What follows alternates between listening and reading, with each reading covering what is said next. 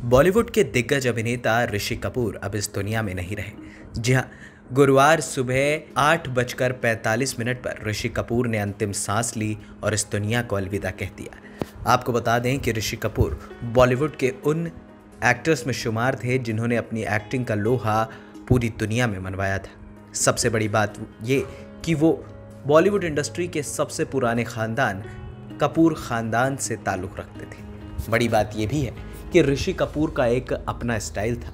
उन्होंने सिर्फ़ युवाओं को ही नहीं, बल्कि कई लोगों को प्रेरित किया था। अपने अभिनय से ऋषि कपूर ने बॉलीवुड को कई जानदार फ़िल्में दी हैं। चाहे वो मॉन्टी का किरदार हो या फिर रौफ लाला का। ऋषि कपूर हमेशा ही अपने किरदार के साथ पूरे तरीके से ढल जाते थे। ऋषि कपूर का यूँ चले जाना बॉलीवुड इंडस्ट्री के साथ साथ पूरे विश्व के लिए एक बड़ी क्षति है। हालाँकि आपको बता दें कि ऋषि के चले जाने के बाद एक वीडियो जमकर वायरल हो रहा है, जिसमें वो हॉस्पिटलाइज्ड है और उनके साथ एक शख्स, उन्हीं का गाना तेरे दर्द से दिल, आबाद रहा, कुछ भूल गए, कुछ याद रहा गा रहा है। बड़ी बात यह भी है कि इस वीडियो को बताया जा रहा है कि ये उनके अंतिम क्षणों का वीडियो है, लेकिन इस खास रिपोर्ट में हम आपको बता दें कि ये वीडियो उनके अंतिम क्षणों का नहीं है।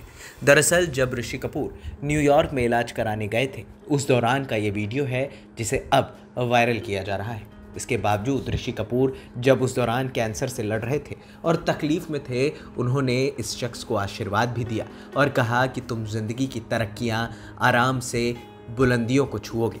लेकिन कहीं ना कहीं ऋषि कपूर अब इस दुनिया में नहीं है। ऋषि कपूर का चला जाना बॉलीवुड के लिए भी एक बहुत बड़ी क्षति माना जा रहा है। ए न्यूज़ रूम की रिपोर्ट।